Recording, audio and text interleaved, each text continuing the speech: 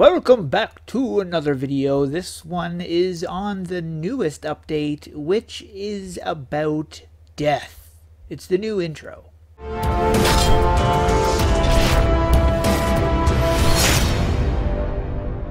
Now, when you first spawn in, you're probably already going to be in the intro area. If for some reason you are not, then you head to Battleon and talk to Artix. After a small cutscene talking thingy, you are going to come to here.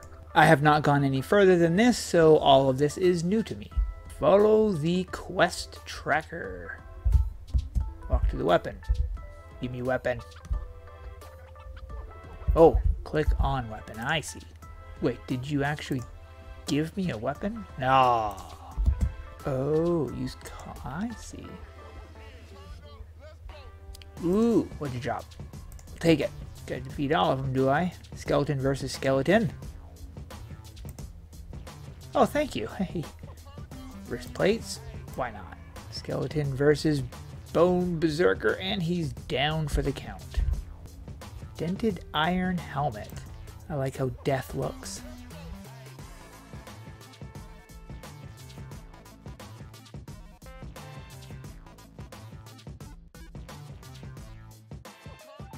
Okay. Ooh, all caps. Head to the door. I'm assuming this is the door. Large door. Wow. We broke that in good shape. Well, this is gorgeous.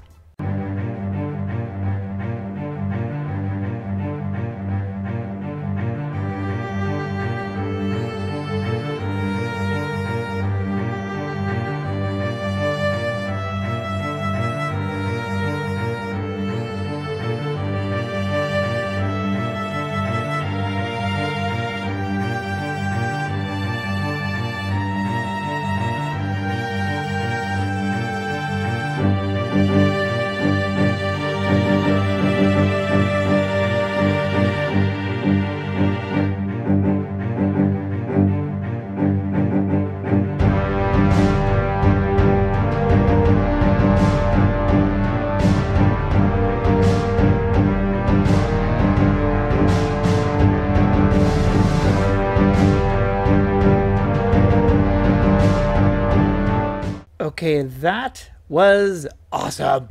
Talk to Artix. And there we go. That is the little run through. Now that was extremely short.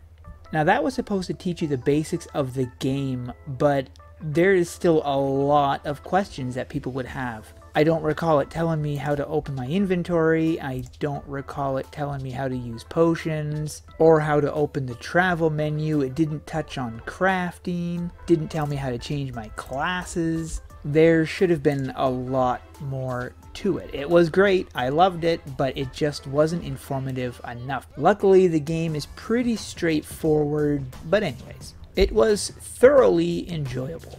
The animations were fantastic. Before we head back to Death's Domain, I'm going to show you something that they have added, which is pretty cool. They now have a working preview button, so you can now see what the travel forms look like before buying them. So this is a really good idea because now at least you don't need to go and find pictures to see what they look like. To get back to Death's domain, you go to this crystal and Death's lair is right there. Or you can go to the travel button and you'll see it right here. You know what the funny thing is? There's still the intro available. I don't know what they're going to be doing about that. Talk to Death.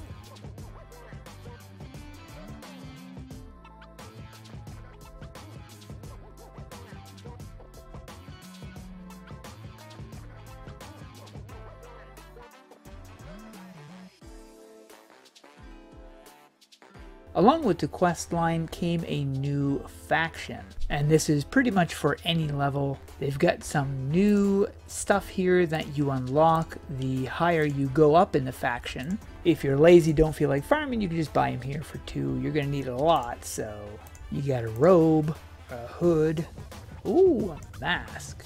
Ooh, creepy. Bone Worshipper robes. Oh, that's kind of cool. A sickle. Ooh, I like that. That is nice. Death's Hourglass. That's cool. I am going to be getting that. Now these are all based on levels. You've got level 20, level 16, level 12, level 8, and level 4. You get yourself a daily quest you can do. Might as well grab that while I'm here. And then you've got the quest, which is what I'm currently on right now. Yep. Pickpockets Warned. Yes, let's do it reusing dungeon textures, but that's okay. I'm clearly going to want to run Warrior for this. There's Herman. Paging Mr. Herman. Better wait for everybody.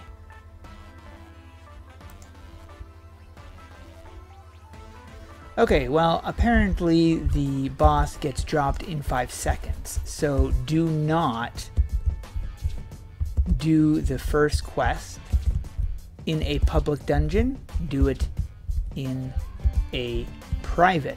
So go to here. The reason why is because these things are very easy to beat.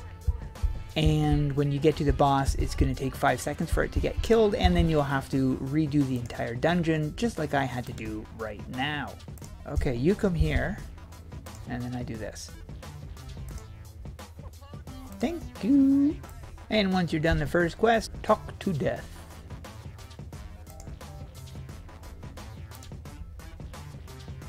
Anyways, the higher up in the quest line you go, the more dungeons you're going to unlock up until level 20.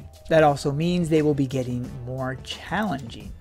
But that is also how you level up the Reaper faction.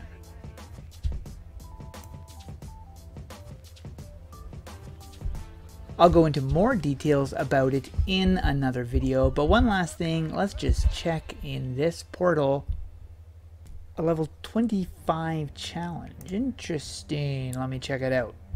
I'm really glad they brought in higher level content and not just low level content because it makes it a lot of fun. Plus having a new faction level up, wicked fun. Reaper Dragon, cool. Death's Contract? I think I just completed the daily. I did! Awesome! Since I completed the first quest, I now have access to these items, and then when I beat the 8th, I'm sure I'll have access to this, and so on and so forth, but again, I'm going to go into more detail on that in another video. There are also titles you can get in the different maps, and I will be making another video about that as well. So for now, that is it for this video. Hope you guys enjoyed. I also wanted to mention we are running a huge 50 winner Artix points giveaway on our community, the AE Federation. If you would like to join that giveaway, check out the link in the description below for the Discord. You will find the giveaway channel on that server. Thanks for watching. If you want to check out my Twitter, you can check the links in the description below for that as well. If you liked this video, be sure to give it a thumbs up and subscribe. We'll see you in the next one. Bye-bye.